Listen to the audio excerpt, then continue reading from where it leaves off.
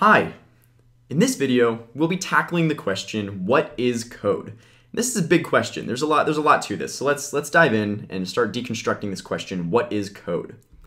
Well, by definition, code is really just a way to convey useful information as symbols. So really code is just a set of symbols that have meaning, that have useful meaning when read in a predefined way. So if you know how to read the code, you can get meaning out of it.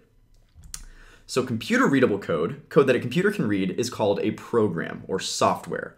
But there are many other types of codes. There's not just computer code. Code is, code is everywhere.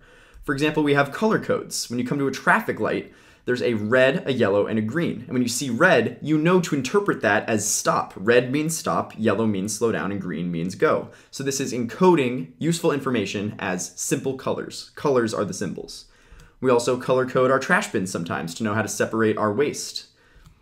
What's crazy is that our bodies actually are made up of code. Our DNA has genetic code that encodes the instructions for how to make every protein in our body. So when our body needs to make a certain protein, it reads over the DNA and uses that as instructions on how to build the protein.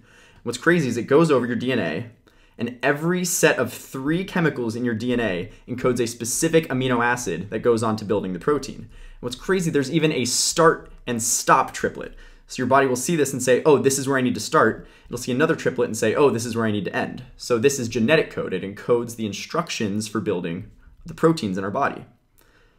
We also have Morse code. This is a great example of code. So this is a system that we used for a long time and we still use to send information over long distances using just sound or light.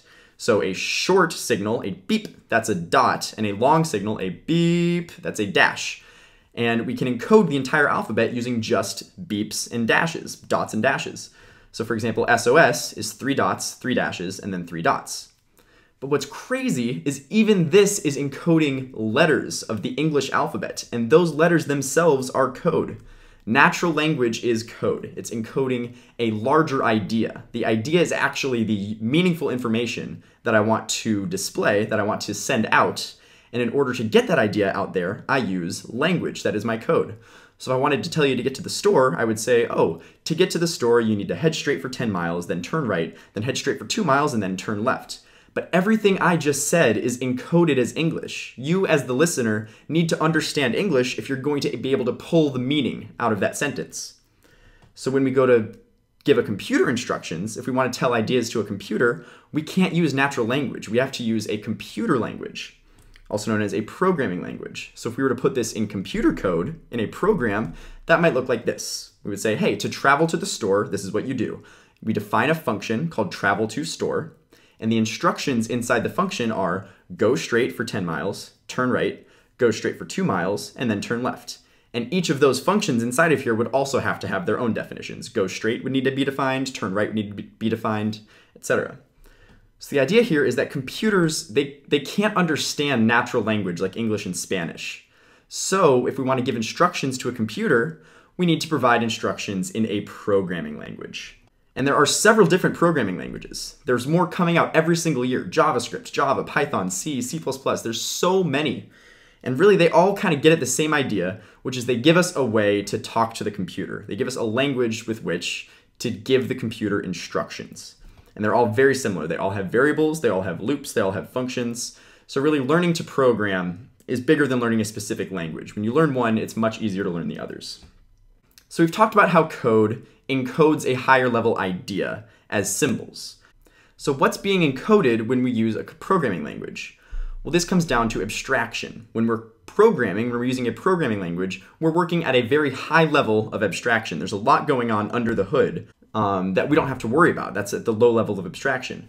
So for example, if I wanted to write a program that makes Karel move, at a high level, when I'm writing my program in my programming language, all I have to do is say move. Boom, the program's done. But when I go to run that, the computer actually converts that into what's called assembly code. And that's a completely different type of code, but that's a bit closer to what the computer actually ends up executing. So move actually turns into a bunch of, a series of commands where the computer is moving information from memory box A to memory box B, adding and subtracting numbers, all to get Karel to move across the screen.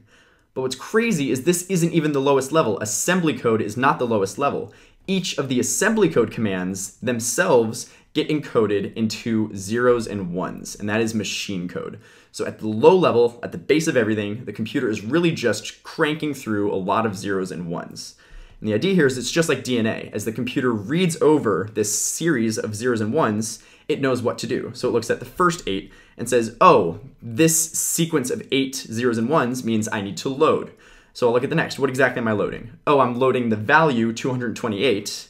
Where am I putting it? Oh, I'm loading it into the memory address 144, and so on. And it goes over this entire string of zeros and ones.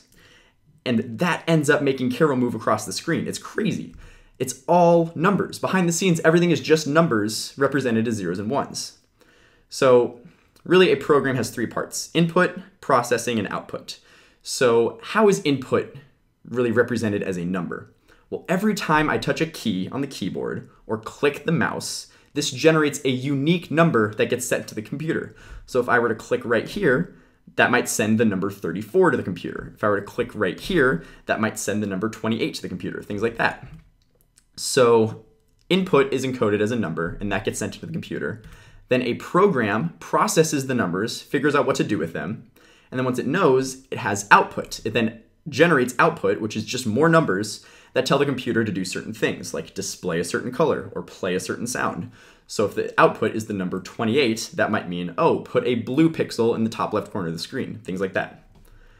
And this is all represented as zeros and ones. All of these numbers are represented using only zeros and ones. And we'll get into this later about exactly how this is possible, but just know that at the base of everything, it's all zeros and ones, and everything's being represented as numbers. Luckily for us, as the programmer, we don't have to worry about that. We don't have to type out these zeros and ones to type our programs. We get to use a much higher level code. We get to use a programming language that encodes that massive sequence of zeros and ones. We don't have to worry about the zeros and ones. So that's all taken care of by the programming language. We get to work at a higher level of abstraction, so we get to focus on the big ideas rather than those nitty gritty details of which zeros and ones to type. So if we have a program, move, move, and turn left, this is written in JavaScript. This is a high level language.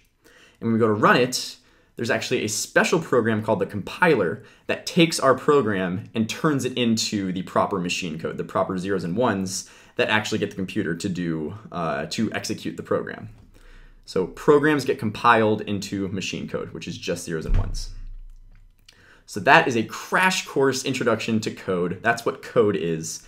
And in this unit, we'll be writing our own code. We'll be learning how to write our own programs that make the computer do what we want it to do. And it's all using code.